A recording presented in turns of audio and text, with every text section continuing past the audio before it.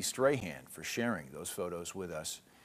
Jamie, all kinds of lightning and thunder woke me up today, but thankfully no egg-sized hail this morning, not, not at my house. Yeah, you would have heard that too. Uh, lots of rain. There was some, I think probably small hail at least here in the Springfield area. Um, certainly some larger hail in pockets in our area.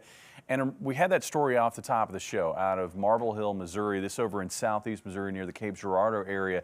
Uh, the Paducah National Weather Service has been out uh, surveying the damage. Their preliminary findings are that it was a high-end EF2 tornado with 130 mile per hour winds. And it was that kind of tornado risk that we were worried about going into the night last night and into the morning today. Now, thankfully, locally in our area, uh, even though there were a bunch of tornado warnings to start the day, including with that storm that produced that egg-sized hail, uh, we did not see much in the way of significant damage. Now, there were quite a few reports of hail locally down to the south where we did have a few tornado warned storms. There is some evidence that maybe there was a weak tornado in the Berryville area.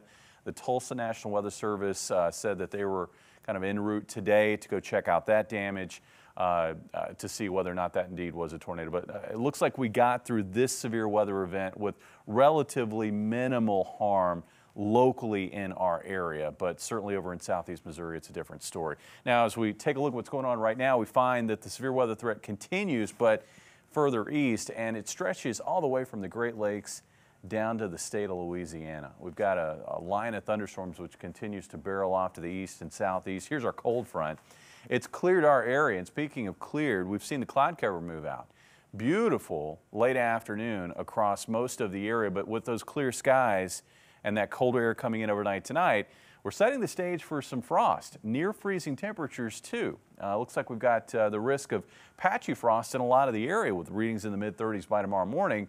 Uh, the greatest concern to the north, this is where we have a frost advisory in effect for communities like Osceola East across Camdenton. Uh, looking at our forecast for tonight, uh, a quiet night. We're going to be able to rest easy. It looks like for tomorrow, We'll find some high cloudiness throughout the day, but generally a, a nice day, a little cool.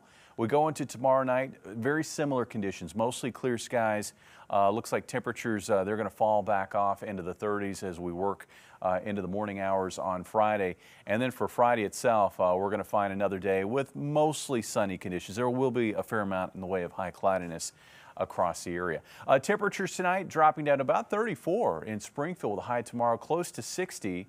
We're back down in the mid 30s Friday morning, and then we're back up into the 60s Friday afternoon with highs generally in the low to mid 60s across here. Looks like about 64 in Springfield. Looking at this upcoming Easter weekend, I don't know that you could ask for nicer weather. Uh, looks like it'll be close to 70 on Saturday, bright. Easter Sunday also looks now mostly sunny with highs in the uh, upper 60s to possibly middle 70s. Looks like around 72 here in the Springfield area. Beyond this weekend, the pattern stays nice and it stays fairly quiet. There will be a shower risk, I think, uh, come Monday in our area. 73 for high, though.